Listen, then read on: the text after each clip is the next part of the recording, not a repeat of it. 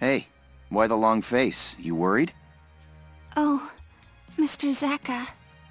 I just can't believe it. Believe what? I'd heard stories of the concentration camps. About the harsh labor forced upon detainees. But seeing it happen in person, I... It just seems too cruel to be true. Yeah. But this is the truth. I...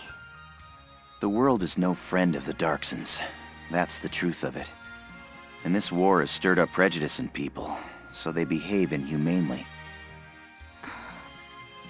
I can sympathize with wanting to look away, but facing the truth makes a person grow. Mr. Zaka... And hey, we're still young. Let's enjoy life. It's up to us to change other folks' minds. Yes, you're right. Thank you, Mr. Zaka. As long as we don't stop reaching out, the day will come when others will accept us. Righto. But for now, it's late. The mission starts at dawn. Make sure you get some rest. I will. Good night, Mr. Zaka.